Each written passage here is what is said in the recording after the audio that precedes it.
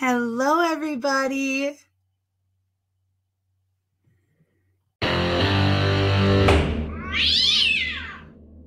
You didn't bring Aaron Brown, did you? Oh, he's here?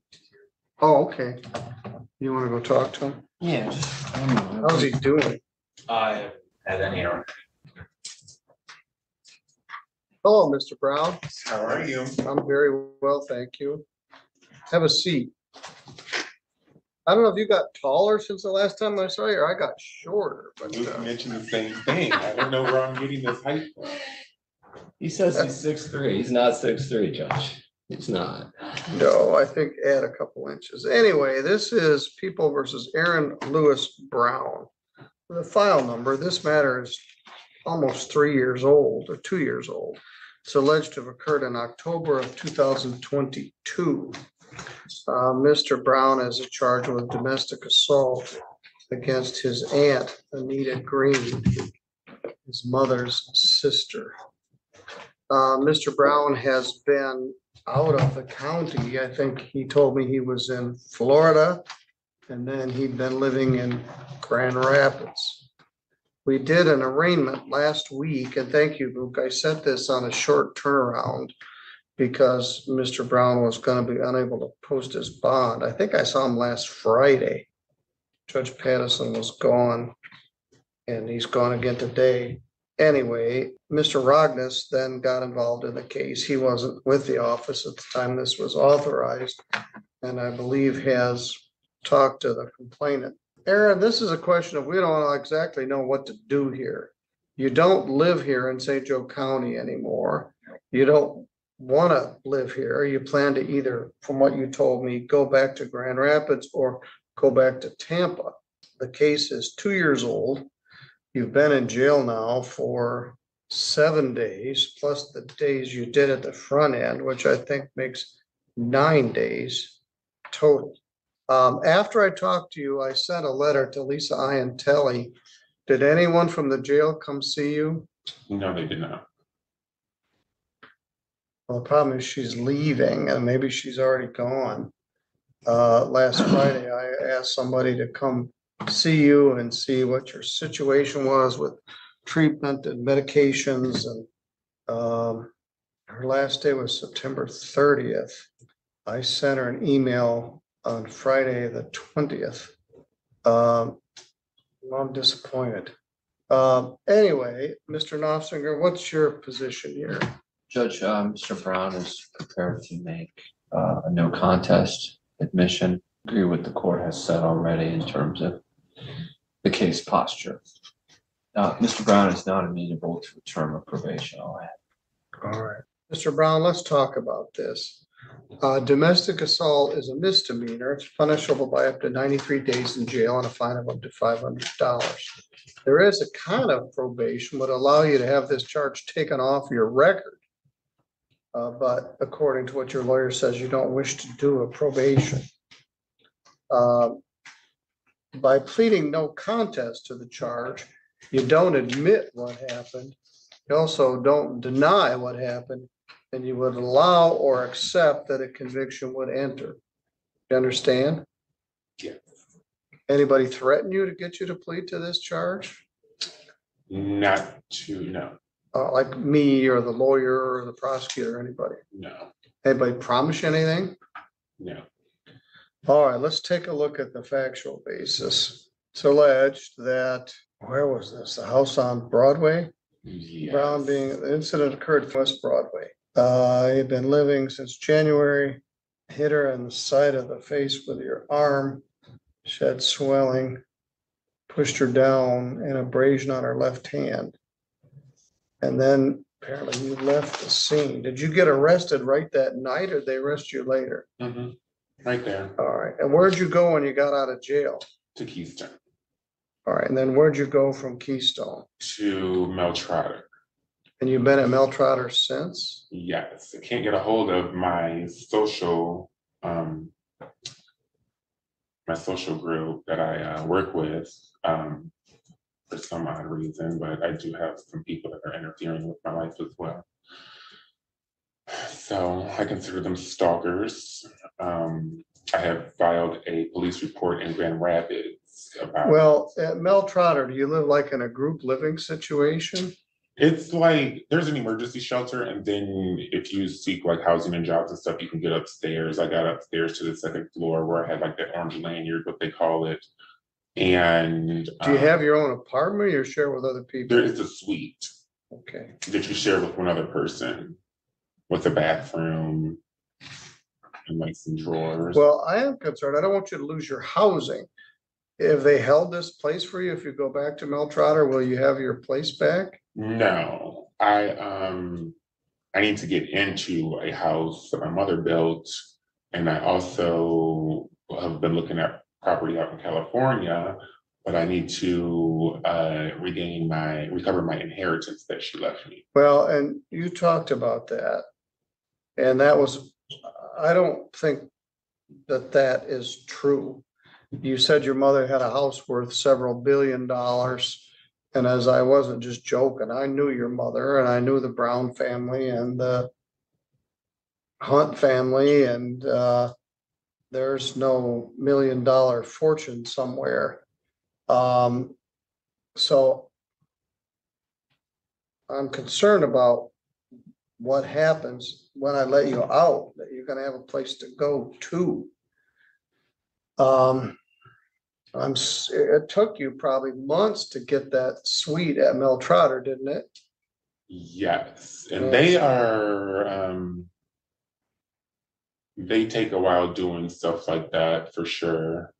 Um, I don't know if it's because they're surrounded by people that have been kidnapped up there or if it's, Do you get social security? no. Do you have any source of income? No, I had my, like I said, my mother's inheritance that she left me. Jaza Newberry and her father stole hundreds of thousands of dollars from me and stole the house that was left in my name. And that is. the Where was that house? Greenfield Court. Over off of Coon Hollow, Yes, I remember. right next to House Stover. Who's in that house now? Far as I know, a bunch of dead bodies.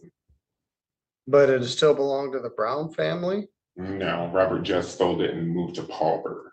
Robert, Jess Evans, her oh, uh, Jess, that'd be her, her husband. Mhm. All right, but he's quite ill, I understand. I don't contact those people. They're in that Palco anatomy mm, organization processing bodies, and I do not want anything to do with them. All right, all right, so let's go to square one. If you're released right now, today, where would you go? My grandmother's house, Which is where? Mary Ruth Brown. Well, I know May Brown, your grandfather's Rochester, Yes, sir. he passed away. Unfortunately, And where does May live? Haynes Road. Who's with her? I told my uncle Gary Brown to stay with her because Ricky Martin, who he goes by Ricky Brown, but that is not his father, is a nutcase. And he's raped me and my grandmother before, and he has stolen money from me. So I told him to not go out there. And um, that's just, So is your uncle Gary living there with your grandma? I think he's looking after her, but I haven't talked to her. I told her I keep in touch with her. Um, so when I leave here, I just usually when I come into town, I just go out there. When I came into town last, when was it, two years ago, she she had COVID, so I didn't go out there right away. Instead, I had an apartment, not an apartment, a um, hotel at the Best Value Inn for three months through Keystone because she wasn't feeling too well, so I just went there instead. But I just recently talked to her, oh, two weeks ago. And I was also advised by Joe Biden to come up here as well. The forty-sixth president of the United States of America. All right, and those are the kind of things that trouble me, Aaron. I think you understand what a trial is about, what your lawyer's function is, and what my function is, the prosecutor's function, and I believe your plea of no contest was knowing and voluntarily. And I believe that you're competent But you have a bunch of delusional thinking uh, that troubles me. Um, and I'm not unwilling to let you out. You don't want to do a probation, but I want some sort of a plan. Um,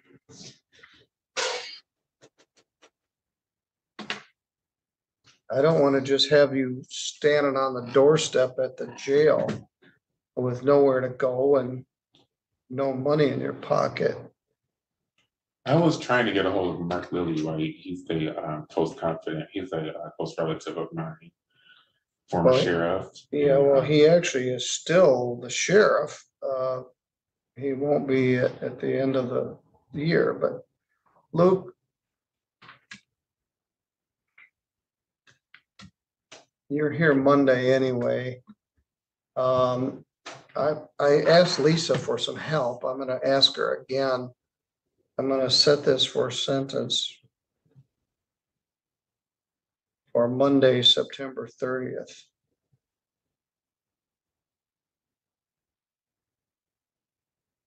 at eleven. Well, let's set it for ten thirty.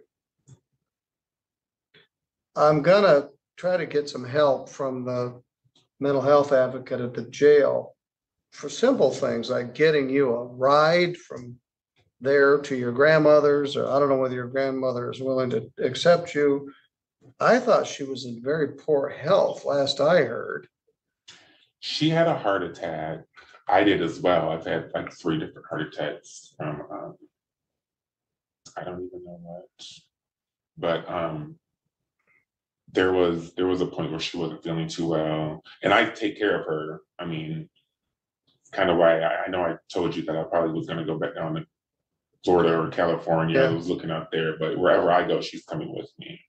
But for right now, I do think it's best that I stay in Michigan for a little bit longer. But that's unreal. You have no money and no source of income. No, and I Um, can't stand it. Yes. Have you ever applied for social security disability? He won't qualify. He's got that several billion dollar inheritance. I have not. I think you would be eligible for some disability, but that's a separate matter. Um, all right, we'll take another crack at this. Uh, next Monday morning at ten thirty. And, uh. Do you have any contact with your brothers? Jason is the only sibling I talk to. I don't talk to Jocelyn. She's the mass murderer. She has confessed to killings over seven hundred people and processing their bodies. Um, she has confessed it with me and Rebecca Ivins and a few other people, so I just. do No, uh, that's the kind of stuff that troubles me. I know your sister Jocelyn, she hasn't killed seven hundred people. I know your twin brothers, Jason and Jordan. Um, and so that, that kind of stuff is troubling to me. Um. But this is in the context of a domestic assault plea. All right. We'll take another crack at this Monday, September thirtieth at ten thirty. See if we can get a lady, pl- a she's plan. involved as well. What's lady- that? Anita Green, she's involved with that woman, Jocelyn Evans as well, so I do not associate myself with these people, so that's why. All right. Um, you're good to go. I'll see you Monday. If there's any way I can get a hold of Mark, it'll be right to have him pick me up and my release. Well, I'll tell you what, I can't even get a hold of Mark Lillywhite. I've texted him a couple times to try to talk to him about something and so I don't know what to tell you, but you text me, Lieutenant? okay. Uh, I'm gonna send another request to Lisa and ask her if she can help us with this. Um, I'll CC both of you on the email. An adult. Well, you're right, he doesn't live in this county necessarily. Well, I'm gonna stop the live stream. That was troubling. Be safe, be well, sleep sweet, and much love.